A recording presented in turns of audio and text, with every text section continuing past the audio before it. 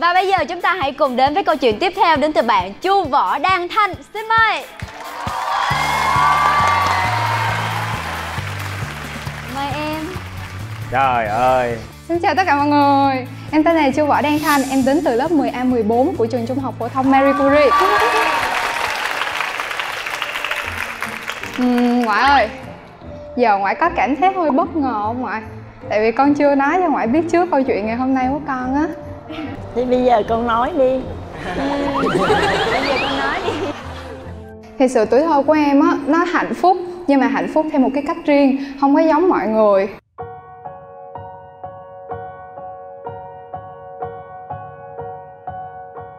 Tại vì từ nhỏ thì em đã sống và được yêu thương một ừ, bởi bàn tay của ngoại. Ngoại đóng vai là ngoại con, ngoại là mẹ con, ngoại là ba của con, ngoại là tất cả mọi thứ với con. Cho nên á, mỗi lần mà ngoại nói ngoại thương con á, con thích lắm. Ngoại lo lắng cho em rất nhiều thứ Ngoại cho em biết nhiều điều lắm Ngoại dạy cho em tất cả mọi thứ. Ngoại chưa bao giờ để em phải thiếu thốn bất kỳ điều gì Cũng như chưa bao giờ để em buồn về cái hoàn cảnh hơi đặc biệt của em. Ngoại giống như một idol của em vậy á. Thực sự luôn. Hồi đó em hay nói với ngoại là ngoại ơi Ngoại cho con gọi ngoại là mẹ nha. Tại vì á, hồi đó con nghĩ á là mẹ với con á là hai từ mà người ta thương nhau lắm, người ta mới gọi nhau. Nhưng mà hồi đó ngoại không có nhớ, ngoại hay ngoại hay quên á, ngoại hay xưng là ngoại á. Mỗi lúc đó em giận ngoại lắm luôn á, em khóc luôn á. Tại vì em nghĩ là trời, vậy là ngoại không có thương con nhưng mà không có xưng là mẹ với con. Chứ con không biết á là cái tiếng gọi ngoại á, nó còn thân thương hơn cái từ mẹ đó nữa. Nhưng mà sau này á, thì nó khác. Con cứ tưởng đâu á, là ngoại với con sẽ mãi mãi như vậy, nhưng mà càng ngày con lớn, con có nhiều mối quan hệ hơn, con quen với bạn bè nhiều hơn, thì cái mối quan hệ của con với ngoại càng càng xa cách.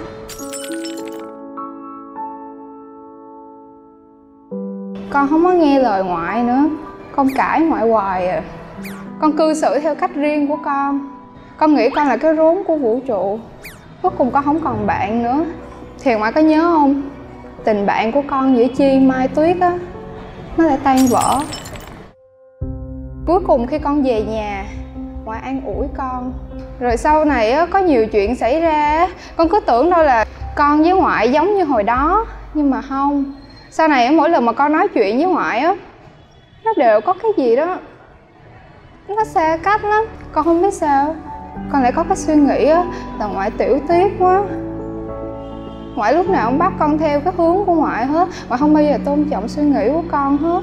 Ngoại là cái người duy nhất mà con thương yêu nhất, con tin tưởng nhất. Nhưng cuối cùng ngoại cũng là người duy nhất mà con không thể chia sẻ được gì hết. Con biết là tại vì do con. Con biết sai rồi. Con nói thiệt. Đúng thì ngoại cũng thấy là sau này giữa con với ngoại có một cái khoảng cách. Nhưng mà con phải hiểu cho bà ngoại là tại vì bây giờ bà ngoại lớn tuổi rồi, không có còn trẻ như xưa. Đó rồi bệnh hoạn, cái sức khỏe của bà ngoại nó nó không có được như hồi lúc trước nữa. Càng ngày thì người càng yếu đi mà trong khi là ngoại sức khỏe ngoại không có. Ngoại còn thương con không ngoại lúc nào thì ngoại cũng thương con hết đó ngoại mong muốn mẹ muốn cho con học hành đến nơi đến chốn. Đó, tại vì ngoại cũng biết là cái ờ, hoàn cảnh của con cha mẹ không có ở gần bên con. Đó, thành ra là ngoại muốn lo cho con. Sau này con ra rồi con đi làm rồi con tự lo cho bản thân của con. Con nói ra thì ờ, bà ngoại cũng đã hiểu. Thì thôi, bây giờ sắp tới trở lên thì hai bà cháu mình có cái gì là nói chuyện nhỏ nhẹ không có được lớn tiếng với ngoại. Ngoại không có thích như vậy. Con sợ luôn á trước giờ con không dám nói với ngoại. Con sợ là con nói ra cái con chưa nói hết cái ngoại la con rồi. Con sợ ngoại la con á cái xong rồi cái con cũng khó chịu lại với ngoại. À, không biết nữa con nói khùng quá à. thì thôi bây giờ bây giờ con nói vậy thì ngoại hiểu rồi. Bây giờ những ngày sắp tới á, con nói cái gì thì ngoại sẽ lắng ngoại nghe. Ngoại phải tới thương con nữa. Thì ngoại ngoại vẫn thương như lúc nào. Thì ngoại thương con ngoại mới mới à, nuôi mới lo con được cho đến giờ này. Con thấy không? Tại vì ngoại coi con lúc nào giống như là con của ngoại chứ không có phải là là là cháu nữa mà là con gái của ngoại vậy đó. Mà ngoại đâu có xưng mẹ đâu. À, thôi bây giờ con nói cái câu mà sao không cho kêu ờ, ngoại không xưng bằng mẹ thì bây giờ con lớn rồi, con hiểu thì ngoại mới nói như nè. Hồi lúc trước, lúc con còn ờ, nhỏ thì ông ngoại với bà ngoại hay chở con đi ăn đi uống. Mà khi đi ăn vô uống vô trong quán ăn thì con kêu bà ngoại bằng mẹ. Rồi con kêu ờ, ông ngoại kế bên bằng ông ngoại. Thì người ta ngồi có nhiều người người ta nhìn, người ta nhìn bà ngoại thấy ngại quá mà trong khi ông ngoại với bà ngoại là bằng tuổi nhau. Con hiểu không? Lúc đó con còn nhỏ quá, thành ra mẹ không thể nào mẹ giải thích cho con được cái đó hết. Cho nên là sau này ngoại mới mới không để con kêu bằng mẹ nữa là như vậy đi ra ngoài đường người ta không có hiểu. Thực ra cái danh xưng nó không quan trọng quan trọng là cái tình cảm của ngoại.